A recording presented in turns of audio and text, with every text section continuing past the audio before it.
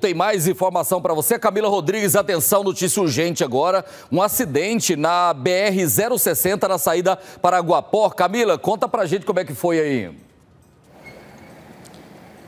Pois é, Loares, infelizmente a gente chega com essa notícia triste. Uma mulher de apenas 24 anos, grávida de 10 semanas, acabou morrendo nesse acidente. Vou pedir para o João mostrar aqui para a gente, para a gente explicar um pouco da dinâmica enquanto eu converso com o policial rodoviário federal.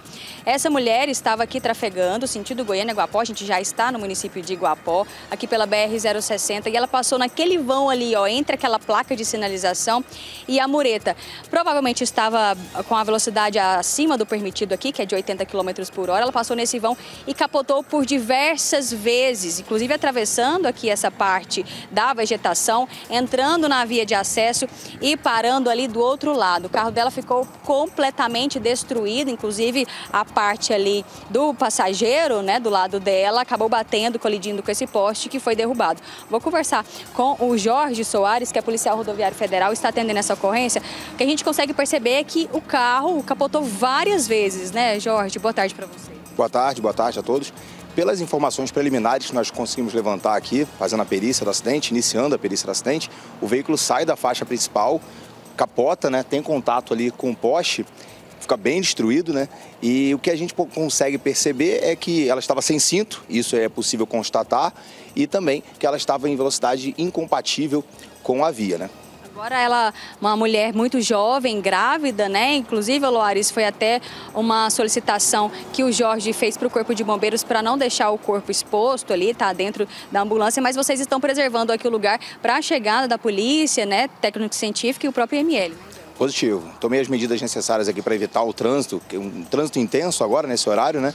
Pedir para bloquear ali a via e pedir para o Corpo de Bombeiros permanecer ali com o corpo dessa senhora para preservar a integridade dela, a imagem dela, a família está aqui, até que a Polícia Técnico-Científica, a Polícia Civil chegue ao local fazer a perícia criminal.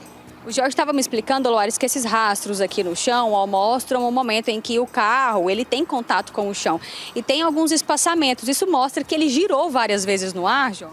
Sim, dá indícios, né? A gente só vai conseguir concluir isso definitivamente ao término da perícia. Mas são indícios que esse veículo tem contato com o solo algumas vezes e a gente tem alguns intervalos de contato, né? Então, provavelmente esse veículo ele capotou e por um grande espaço, né? Eu já fiz as medições, quase 100 metros da via até o local de repouso. Agora, qual é o trabalho de vocês aqui, João? É, o trabalho da Polícia Rodoviária Federal agora é evitar novos acidentes, por isso que nós fizemos a interdição parcial da via, é manter aqui um local seguro, fazer a perícia para que a família consiga ali ter uma possível causa desses acidentes, desse acidente e conseguir prover segurança para os demais usuários. A PRF vem trabalhando durante todo o período de férias para evitar que essas coisas aconteçam. Então já deixa um recado aí para quem está assistindo, use cinto de segurança, respeite a velocidade da via, porque a PRF tem muita tristeza em atender esse tipo de ocorrência.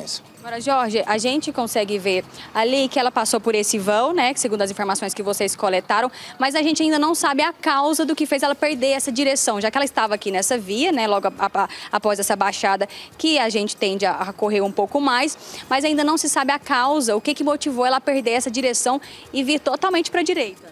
É difícil é, falar agora, porque a gente chegou há pouco tempo, então estamos começando a colher as informações, né? Pode ter sido diversos fatores, né? A gente primeiro faz uma análise técnica para depois ouvir as testemunhas, até para não contaminar né, a nossa avaliação, mas algum fator externo fez com que provavelmente ela perdesse o controle. Aí só no final da perícia que a gente consegue determinar.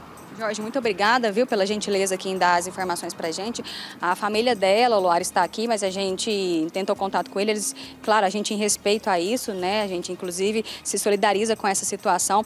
Ela que teria o terceiro filho, né? Estava grávida aí do terceiro filho. As outras duas filhas também estão aqui. A gente fica muito triste com toda essa situação, né? E dá nossos pêsames aqui para toda a família. Luares.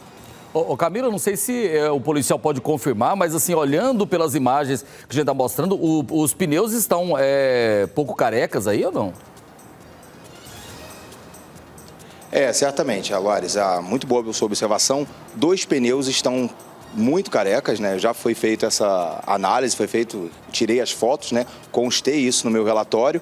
É, mas não tem como afirmar que isso foi a, forma, a, a, causa principal do acidente. Isso a gente vai ter que fazer na perícia avançada, né? Já tirei todas as medições, vou narrar isso na minha ocorrência, mas de fato, os pneus estão carecas. É, olha aí, dois problemas, né? Pneus carecas e sem o cinto de segurança, né? Então, olha, a, a, tudo indica que ela realmente estava sem o cinto de segurança aí, gente. Então, a gente continua acompanhando. Muito obrigado, Camila. Obrigado, Jorge, também. É, nossos sentimentos à família que sirva de alerta. Nós precisamos aprender com as tragédias, né? Alta velocidade, é, deixar de usar o cinto de segurança, é, pneus carecas, né? Nada justifica, né? O, o caso já aconteceu, mas a gente pode evitar novas tragédias do trânsito. Isso aí aconteceu na BR-060, ali entre Goiânia e Guapó. Obrigado, Camila. A gente continua acompanhando aí, né?